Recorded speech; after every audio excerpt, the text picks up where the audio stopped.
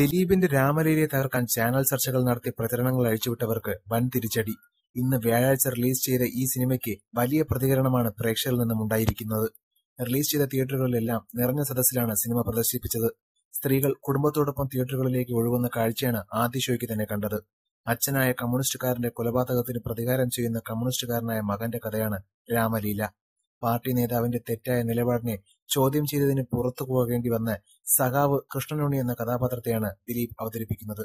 അച്ഛനെ കൊന്നവനോടുള്ള പകവീട്ടി അമ്മയുടെ ലാൽസലാം കൃഷ്ണനുണി ഏറ്റുവാങ്ങുന്നതോടെയാണ് സിനിമ അവസാനിക്കുന്നത്. ഇന്നത്തെ രാഷ്ട്രീയത്തിലെ തെറ്റായ പ്രവണതകൾ ചൂണ്ടിക്കാട്ടുമ്പോൾ തന്നെ കമ്മ്യൂണിസ്റ്റിന്റെ ആശയത്തെ സിനിമ തള്ളിപ്പറയുന്നില്ല എന്നതും ശ്രദ്ധേയമാണ്.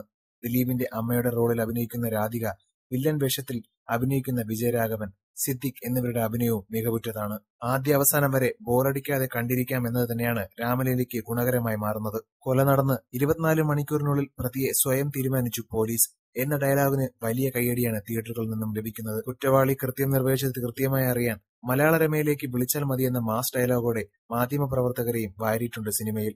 നടി ആക്രമിക്കപ്പെട്ട് എഴുപത്തെട്ട് ദിവസമായി ജയിലിൽ കഴിയുന്ന ദിലീപിനെ സംബന്ധിച്ച് വലിയ ഒരു ആശ്വാസമാകും രാമലീലയുടെ വിജയം. വിമർശകർക്ക് ബോധ്യപ്പെട്ടില്ലെങ്കിൽ ഇനി തിയേറ്ററുകൾക്ക് മുന്നിൽ പോയി നോക്കാം. അതല്ലെങ്കിൽ സിനിമ കണ്ട് വിലയിരുത്തുക. മാധ്യമങ്ങളല്ല ജനങ്ങളുടെ ചിന്താശക്തിയെ നിയന്ത്രിക്കുന്നത് എന്നതിന്റെ നേർക്കാഴ്ചയാണ് രാമലീല. കൂടുതൽ സിനിമാ ലോകത്തെ വാർത്തകൾക്കും വിശേഷങ്ങൾക്കും ഈ ചാനൽ മറക്കാതെ സബ്സ്ക്രൈബ് ചെയ്ത് ഈ വീഡിയോ മറക്കാതെ എല്ലാവർക്കും ഷെയർ ചെയ്ത്